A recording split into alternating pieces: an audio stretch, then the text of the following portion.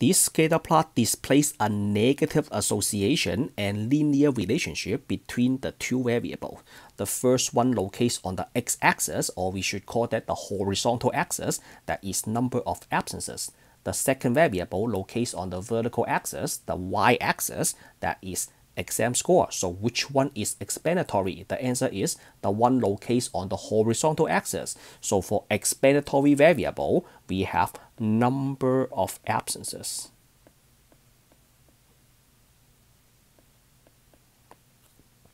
And then what about response? That is exam score, right? So, and then I have more questions for you. The first one is how many students have four absences? So that is x equals to 4. So follow my highlighter, x equals to 4. So that is right over here. So the answer is one student has four absences. So the answer is 1. Alright, how about at most 4? What is at most? At most means the maximum is equals to 4. It can be 3, it can be 2, it can be 1, it can be 0. Again, at most 4 means the maximum is equals to 4. It can be any number less than 4, including 3, 2, 1, 0. So 4 absences, follow my highlighter, 4 absences is over here, right? So that is 4 absences. And since we have to include all the numbers less than 4, so that means we have to include this as well. So how many dots are included? So just count, including the 4. So we have 1, 2, 3, 4, 5, 6, 7, 8, 9, 10, 11. So 11 dots. So the answer is 11. So let's get rid of the mark. So this is 11 students. I will just use my red pen. So 11 students. And then how about at least 7 absences? That means the maximum is 7, right? At least, oh, at least 7 sorry, the minimum is 7 and what else? At least 7. The minimum is 7 and it can be any numbers more than 7. So in this picture, at least 7 is right here, right? So this is 7 and then you are looking for 7 or above. So that includes 7, 8, and 9. So we have to include this, this piece. So how many dots do we have? We have 1, 2, 3, 4, 5. The answer is 5 students. Let's get rid of the mark. So the answer is 5.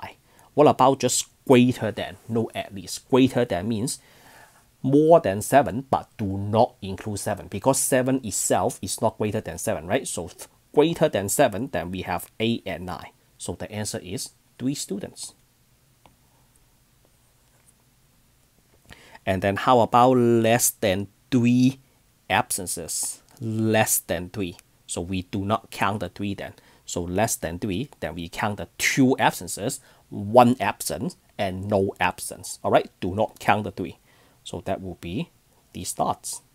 So do not count the three. So how many do we have? One, two, three, four, five, six, seven, eight. So there are eight dots. So the answer is 8. Let's get rid of the mark. So this is 8. How about exactly 5? So exactly 5, then we are looking for x equals to 5. So right over there, how many dots?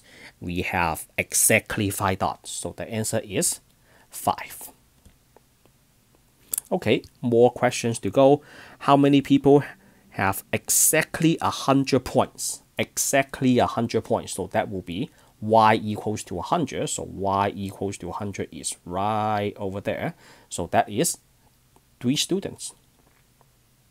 One, two, three, three dots, right? So three students. They have exactly 100 points on the test. And then how about less than 80 points? So less than 80 points. Wow, we got a lot to count. So that doesn't include 80, right? So less than 80 points. So we do not count the 80, then we have to count all of this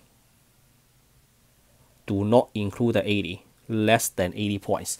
Then let's count 1, 2, 3, 4, 5, 6, 7, 8, 9, 10, 11, 12, 13, 14. So the answer is 14 students. So we write 14 students, they score less than 80 points. How about at most 80 points? So at most 80 points means 80 points is the maximum, right? And it can be anything less than 80. So where is 80? So since we have to include the 80, then we have to include the 80 points as well. So that will be this. So less than 80, we have 14 people, right? So if you include two additional points, then that will be 16. 14 plus 2, plus this one and this one. So let's count and anyway, so 1, 2, 3, 4, 5, 6, 7, 8, 9, 10, 11, 12, 13, 14, 15, 16. So 16 people, they score at most 80 points. The maximum is 80. It can be any number less than 80. All right, so let's put this down. 16. All right, so that just answer all the questions. If you think my instruction is helpful, let me know in the comment below. Like the video, share the video for me, subscribe to my channel if you haven't done so. Appreciate your help and support. See you all in the next one. Signing off for now.